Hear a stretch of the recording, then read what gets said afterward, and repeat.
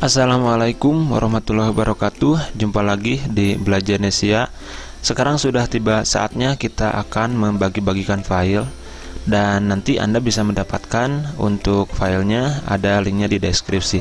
Tapi sebelumnya silakan kita review dulu untuk brosur yang akan kita bagikan. Di sini ada Pertama teman-teman ada bagian belakang. Untuk brosurnya konsepnya adalah tiga lipat dengan dua halaman. Ini halaman belakang dan ini adalah halaman depan apa saja yang bisa dilakukan di dalam brosur ini? Di halaman depan Anda bisa mengubah teksnya masih menggunakan teks tool aja seperti biasa ya. Ada beberapa opsi juga.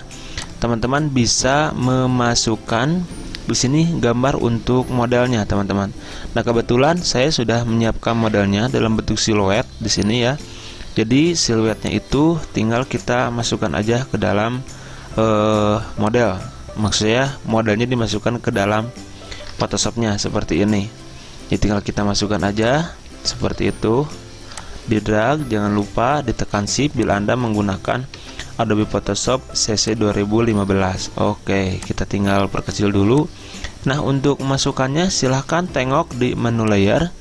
Di bagian yang ini kita tinggal digeserkan aja ke bagian bawah. Nah seperti itu. Ini sudah bisa kelihatan tinggal geser lagi. Oke Nah, jadi si model itu atau si siswa peserta didik itu sudah masuk di bagian belakang. Nah, untuk informasinya sudah terbilang lengkap, teman-teman. Ada tentang kami, program beasiswa, kelengkapan dan persyaratan untuk masuk sekolah. Di sini ada nama sekolahnya, juga ada beberapa sejarah sedikit visi misi sekolah. Di bawah ada info pendaftaran dan juga ada barcode, teman-teman. Untuk barcode tentu ini adalah barcode bisa nomor telepon atau e, link WhatsApp pendaftaran. Nah, di sini tinggal kita masukkan aja barcode-nya ke dalam Adobe Photoshop-nya. Tekan Ctrl Alt Home, e, maksudnya Ctrl Alt kanan supaya ada di bagian paling atas karena ini kecil ya, teman-teman. Tinggal kita di drag dulu ke bawah lalu di enter dan simpan di bagian yang ini. Oke, ini biasanya link barcode-nya ada di WhatsApp ya. Ini hanya contoh saja. Lanjut teman-teman, itu untuk bagian depannya bila mana ingin warnanya lebih match lagi, teman-teman bisa menggunakan fitur hue saturation ya. Di sini ada hue saturation. Oke, seperti itu. Jadi tinggal mau ingin lebih merah lagi teman-teman tinggal diklik aja seperti ini ini lebih saturasi dikurangi sedangkan ini lebih tajam lagi untuk warnanya demikian untuk uh, bagian dari terang dan juga gelapnya. Bila mana ingin menggunakan warna yang lain teman-teman masih bisa jadi tinggal digeser aja seperti ini. Oke seperti itu. Itu untuk bagian depan dan untuk bagian belakang. Ini ada sedikit tambahan teman-teman yaitu gambar model atau gambar PNG nya Nah, di bagian gambar PNG itu digunakan yang pertama ada untuk dokumentasi dan sarana, juga ada dokumentasi dan kegiatan. Barangkali ada yang punya sarana yang memang diperlukan untuk kegiatan-kegiatan mendukung sekolah ya. Saya coba masukkan dulu di sini ada dua gambar ya. Ini untuk frame di bagian depannya, teman-teman. Oke. Nah, seperti itu. Fokus ke dalam layernya di sini kita hidden dulu salah satu ya kita masukkan dulu objek yang gambar yang ini teman-teman jadi caranya ya sebentar ini masuk ke dalam crop marknya. Kita naikkan aja ke atas teman-teman. Kontrol AL eh, kontrol shift kurung kurawal kanan. Nah satu kali lagi ya ini jadi ada paling atas.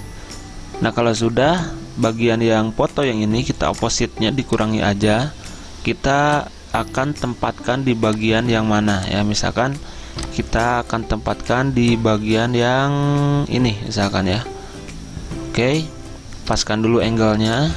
Nah kalau sudah dirasa sudah pas teman-teman tinggal masuk kembali ke dalam uh, bagian layarnya. Sebentar sedikit. Nah di bagian layar teman-teman di sini cari aja. Yang ini kunci aja dulu. Sebentar. Kita kunci dulu. Nah ini bagian di crop marknya ya. Kita lihat. Oke. okay. Nah lebih mudah teman-teman tinggal dibuka aja bagian crop marknya jadi klik kanan lalu ada ungroup layer nah kita pilih nah ini adalah objek warna abu-abu yang akan digunakan untuk frame-nya. Jadi caranya kita tinggal ditekan kontrol lalu diklik. Nah, ini secara otomatis teman-teman akan ada seleksi yang uh, meliputi dari lingkaran yang tadi ya. Nah, kita tinggal kembali aja ke dalam modelnya yang ini yang dikunci tadi opposite-nya disamakan. Nah, ini udah kelihatan. Klik aja uh, klik clipping mesh. Nah, seperti itu, teman-teman. Ya, saya ulangi caranya sama nah ini untuk yang kegiatan ya sarana maksud saya kita perkecil dulu ya simpan di sini misalkan untuk sarana lapang kita perkecil aja oke tekan enter lalu kita perkecil dulu siapkan untuk angle yang pas. Kunci teman-teman dipilih warna abu yang ada di belakangnya. Oke ini sudah ada ya. Lalu tekan kontrol lalu diklik. Nah ini sudah ada teman-teman. Tekan kontrol lalu diklik. Pilih kembali untuk objek eh, yang tadi ya. Objek yang bangunan atau sarananya. Nah tinggal ditekan create clipping mesh. Nah seperti itu kalau misalkan tertimpa ya tinggal kita turunkan aja teman-teman seperti itu. Sampai si objeknya itu ada di bagian bawah atau bagian informasinya itu ada. Nah bagian bangunan sekolahnya teman-teman. Sebentar. Ini nah ini tulisan bangunan sekolahnya. Ini tinggal digeser ke atas. Nah sebentar geser saja teman-teman harus ada di bawah tulisan bangunan sekolah Oke, kita coba di sini. Masih terlalu atas. Bangunan sekolah. Atau yang ini bisa dikeataskan saja. Nah, dengan kontrol kurung kurawal kanan. Nah, seperti itu.